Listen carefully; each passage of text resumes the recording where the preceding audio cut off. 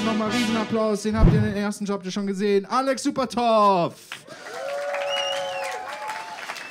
Und er tritt an gegen den Typen, warum ihr wahrscheinlich hier seid. Shark Shapira. Oh. Oh. Und ähm, da, weil er 100.000 Follower auf Twitter hat, lassen wir ihn entscheiden, wer anfängt. ja, ich gebe dir das.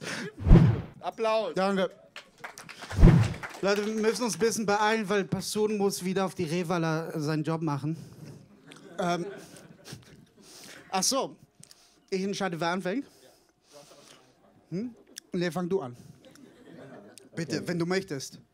Äh, okay, ich fange an. Ähm, ich, ich, möchte zuerst sagen, ich bin äh, seit Jahren ein großer Fan von Shahak, deswegen ist das eine große Ehre für mich, dass ich äh, ihn hier jetzt roasten darf. Und deswegen wünsche ich auch, wir hätten es an einem anderen Tag gemacht, weil wir hatten gerade jetzt, jetzt die Zeitumstellung. Und ich glaube, Shahak ist ein bisschen grantig deswegen, weil er hatte letzte Nacht eine Stunde weniger Zeit, um Teenager auf Twitter zu mobben. Und äh, dafür lebt er. Das ist sein Lebenstricks hier. Also ich, macht das jetzt zum ersten Mal so, so ein Ding und ähm, ich muss sagen, es ist schon ein bisschen unangenehm. Also ich, ich will eigentlich meine Fans nicht beleidigen, aber... Ähm, Wir sind es gewohnt. Ja, also manche von euch kennen Alex, aber für die, die nicht mit ihm verwandt sind, ähm, Alex... Alex, ähm, Alexes Karriere hat begonnen, als er es geschafft hat, einen Top-Kommentar auf meiner Facebook-Seite zu verfassen. Das war auch ein guter Top-Kommentar. Von den zehn Likes gekriegt. Ja. ja. Ich weiß. Ich weiß, ich bin viel weniger berühmt als du. Ne? Ich weiß, dass dich das viel mehr aufregt. Viel als, weniger. Also ja, aber, aber, ich weiß auch, dass dich das viel mehr aufregt als mich, weil für mich ist das hier in jederlei Hinsicht ein Weg nach oben mhm. und du wirst einfach jede Sekunde weniger berühmt, während wir zusammen auf der Bühne sind. ich kann mir nicht vorstellen, wie sehr ich das ankotzt. Es stimmt, du wirst mit diesem Roast mehr Follower bekommen, als du jemals mit irgendwas eigenem bekommen hast. Aber du machst es echt, Alex, du machst es echt gut. Du wirkst gar nicht aufgeregt so. Es ist, ähm, es ist nicht schlecht. Alex, wisst ihr, Alex hat alles, was ein Comedian braucht, um Dachdecker zu werden. Er hat aber noch so viel weniger, noch so viel weniger. Er hat zum Beispiel ein YouTube-Format. Das hat niemand. Ähm, Alex hat ein YouTube-Format, das heißt schnell erklärt. Das ist super. Ähm, und da lädt er jede Woche Videos hoch und schafft es in nur wenigen Sekunden zu erklären, warum er von Comedy nicht leben kann. Ja, stimmt, das stimmt. Ich habe viel, viel weniger Geld auszu, aber äh, ich brauche es auch nicht. Ich bin kein Jude. Ich kann auch andere Sachen essen außer Geld.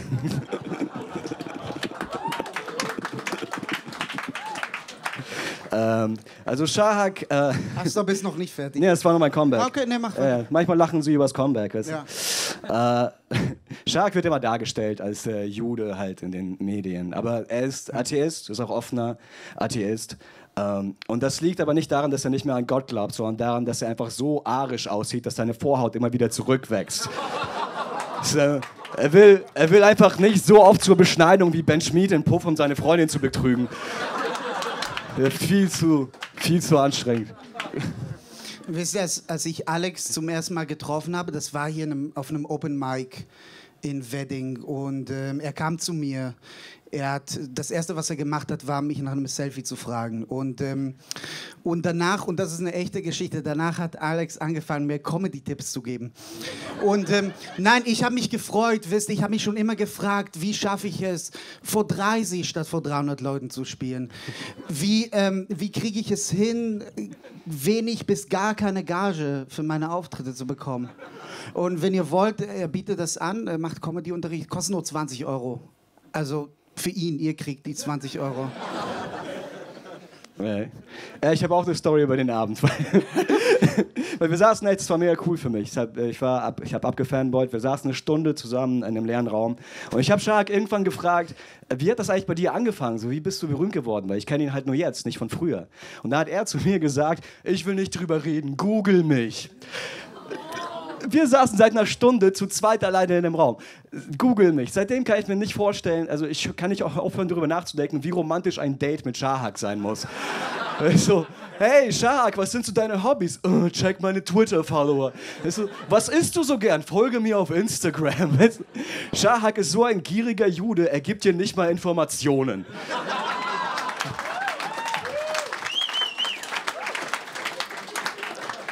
Ja, da kriegst du sie mit den Judenwitzen, ne? Ja, da, da lacht ihr, ne? Spastis. Apropos, ich freue mich, dass du das Thema Google äh, gebracht hast, weil ich musste irgendwie recherchieren, wisst ihr, das ist das Problem. Ich roaste hier Leute, die kein Schwein kennt. Und Google ist da das Einzige, was ich habe. Und ähm, ich habe hier fünf Dinge aufgezählt, ne, vier Dinge, die auf Google mehr Suchergebnisse bringen als Alex Upatov. Nummer eins, Vero. Nummer zwei, Passun Ashand. Nummer drei, das Wort Lach-Emoji. Nummer vier, Shahak Shapiras Vorhaut. Verstehst du, meine Vorhaut ist relevanter als du. Und sie ist nicht mehr da seit 30 Jahren.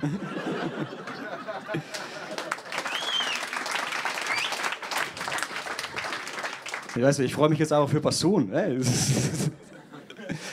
ja, ähm, Shark hat äh, einen Witz darüber äh, das Aussehen von dem Rapper Flair gemacht und Flair hat ihm darauf äh, Schläge angedroht, was ich echt schwach finde, weil wenn Shark einen Witz über dein Aussehen macht, Shark bietet genug Angriffsfläche. Ich meine, jedes Foto von Shahak sieht aus wie Werbung für ein Online-BWL-Studium. Okay? Und, und Flair ist nichts eingefallen. Shahak, Shahak hat die Stimme von Dieter Bohlen und den Friseur von Donald Trump. Und Flair ist nichts eingefallen. Shahak sieht aus, vor allem mit seinem Bart, wie Oliver Pochers Midlife Crisis. Und Flair ist nichts eingefallen. Shahak sieht aus wie die schwule Version von Harpe Kerkeling. Und Flair, deutscher Rap ist tot.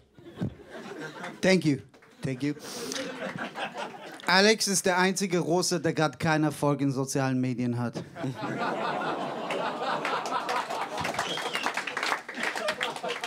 Ja, aber es ist auch der Grund, warum die mich, die mich dich roasten lassen. Weißt du, die ganzen Deutschen wollen so, oh, einen Juden roasten. Ne? Das lassen wir mal lieber die Juden, die, die Russen machen. Das, das, das, sieht ja nicht gut aus. Was, was müssen wir Russen eigentlich noch alles machen? Wir müssen für die Amis wählen gehen. Wir müssen jetzt für die Deutschen roasten. Also als nächstes müssen wir den Schweizern erklären, wie man Löcher in den Käse macht. Lasst uns in Ruhe. Wie viele Witze hast du von Twitter genau geklaut gerade? Alter. Alter, wenn ich das hier gewinne, bin ich besser als ein CDF-Autorenteam. Deswegen würde ich mal ganz leise sein. ja, das wäre schön, wenn ich ein Autorenteam hätte. ähm, Alex, für mich bist du, du bist für deutsche Comedy das, was Pietro Lombardi für Musik ist.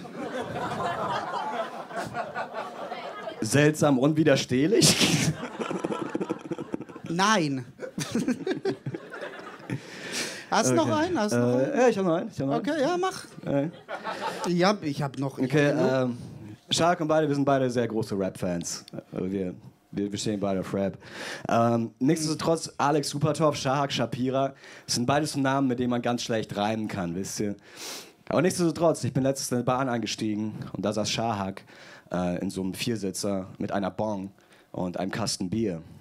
Und ich habe gesagt, hey, was ist das? Shahak Shapira und er sitzt in einem Vierer? Und er sagte, hey, Alex Supertopf, komm, rauch mal einen Superkopf. Und ich sagte, ah, ich weiß nicht, Shahak Shapira, ist denn noch Bier da? Und er sagte, ich bin Shahak Shapira, bei mir ist immer Bier da. Aber Alex Upatov raucht erstmal das Grasloch. Also rauchte Upatov das grässliche Grasloch. Und Shapira trank weiter, bis da kein Bier war. Und wir kotzen die Bahn voll wie die letzten Verlierer.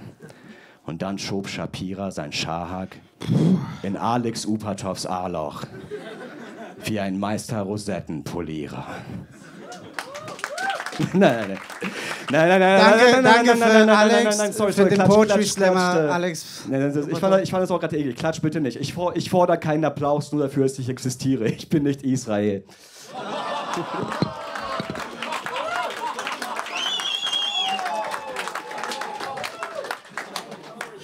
Da klatscht ihr.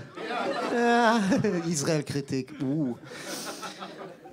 Alex sieht aus wie Peter Pan, der doch erwachsen wurde und alle Kinder im Nimmerland vergewaltigt hat. Okay, wir sind schon bei sieben Witzen oder so. Wir können weitermachen. Ich habe äh, hab 200 Schach. Ich finde es auch lustig, weißt du, ich Russland... monatelang geschrieben. Hm? Ja, was? Nee, erzähl. Ja, ja. Letzter Joke? Ja, Passun muss, ne? Hier, Drogen. Ja, okay, okay. Ja, weißt du, das ist jetzt schon wirklich B-Material. weißt du, manchmal frage frag ich mich, auch als Fan von dir halt, äh, braucht Deutschland wirklich noch einen jüdischen Comedian der Deutschen mit dem Holocaust irgendwie ein schlechtes Gewissen macht. Du, jedes Mal, wenn Shahak einen Erfolg feiert, dann versucht die Karriere von Oliver Polak sich im Grab umzudrehen. Aber sie kriegt es nicht hin, weil es zu fett ist. Das ist schwer für ihn. Ja, ich weiß, war das ein Witz gegen mich gerade? Wie gesagt, ist schon B-Material. Ich bin, wir, sind schon, Ah, okay. wir sind weit über die fünf hinaus. Du ich denkst, dass Spaß. du, du glaubst, dass du jetzt erst beim B-Material angekommen bist. Ja, du, lass uns doch mal unseren Applaus zählen vor all deinen Fans. Vielen Dank!